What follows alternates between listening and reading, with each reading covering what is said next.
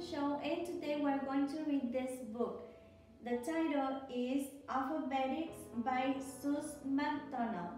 And remember, this is the front cover, the spine, and the back cover of your book. A is for arc.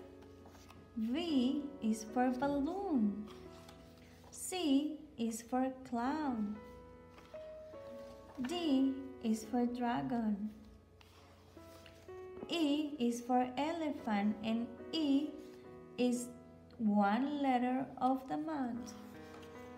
F is for fish. G is for giraffe. H is for house. I is for insect.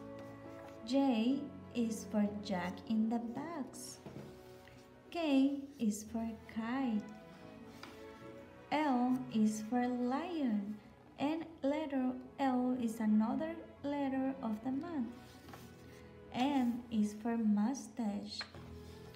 N is for nest. O is for owl. P is for plane. Q is for quail. R is for rooster. S is for swan.